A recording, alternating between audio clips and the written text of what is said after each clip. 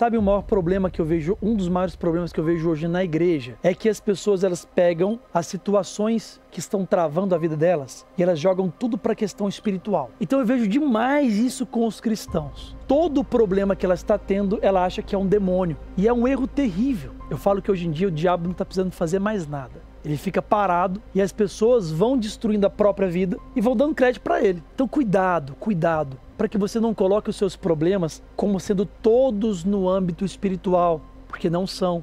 Nesse tempo que nós temos mais de 6 mil alunos, nesses meses que nós estamos trabalhando, a nossa experiência nos encontros que eu fazia antes, nas conferências que a gente fazia há três anos atrás, a nossa experiência é que 90% dos problemas não são espirituais, são emocionais, mentais e também por falta de conhecimento. Lembra o que a palavra diz? O meu povo se perde por falta de conhecimento. E aí, por não entender, muitas pessoas foram jogando a responsabilidade para o diabo. Ah, porque isso aqui na minha vida está acontecendo porque eu estou passando por uma batalha espiritual. Ah, porque o demônio está me atacando. 90% dos casos não é isso que está acontecendo. São problemas emocionais que você traz desde a sua infância, desde a primeira infância, desde a vida intrauterina, você vem trazendo esses problemas. E aí agora a sua vida trava, e aí você pensa, só pode ser o demônio. Mas lembre-se, se você comunga Jesus sacramentado, vive os sacramentos,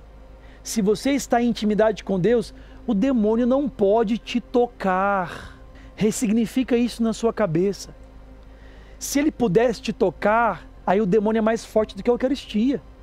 Se ele pudesse te tocar, o demônio seria mais forte do que os sacramentos. Está errado. Nós precisamos ressignificar essa mentalidade de uma vez por todas. Eu vejo o católico com mais medo do demônio do que fé em Jesus. Nós temos que entender isso. É muito simples ser liberto. Eu vou falar de novo. É muito simples ser liberto. Basta você comungar Jesus, se confessar, viver os sacramentos, intimidade com Deus e palavra. A maioria de vocês já fazem isso. É simples ser liberto de uma opressão do mal, de um ataque do mal. O que não é simples é ressignificar um passado de sofrimento. É muito mais complexo. Porque tem pessoas que têm uma história de 10 anos, 20 anos de violência emocional, de relacionamentos que foram abusivos, por exemplo, tem muita gente que agora não está conseguindo se relacionar porque teve um relacionamento abusivo em algum momento da sua vida. Aquele relacionamento abusivo passou, mas você não ressignificou. E aí você encontra uma outra pessoa, inconscientemente você vai falando para dentro de você, vai ser do mesmo jeito, eu vou sofrer igual eu sofri com aquela pessoa. Então você ainda está naquele relacionamento abusivo. Você não superou ele. Ele passou, mas você não superou. Você está ainda preso naquele relacionamento. E aí você se relaciona de novo agora, mas para você inconscientemente, aquela pessoa vai fazer a mesma coisa que o outro fez. Ou porque você está tão bloqueado e tão travado nesse relacionamento abusivo que você teve, você vai se aproximar só de pessoas abusivas também. Ou se você viu seu pai sendo abusivo com sua mãe, ou sua mãe sendo abusiva com seu pai, é esse o padrão de relacionamento que você trouxe para sua vida hoje. Então você abusa, ou você só se relaciona com pessoas que abusam emocionalmente de você. Estão percebendo que é muito mais complexo do que apenas falar é diabo, é demônio. É mais complexo.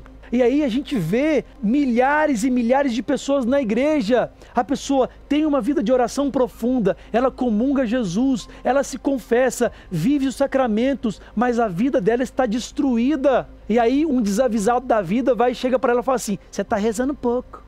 Tem que ser mais santo". Me dá uma raiva dessas pessoas.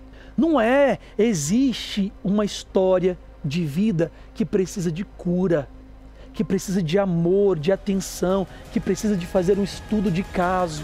Senão você não vai conseguir ser livre disso.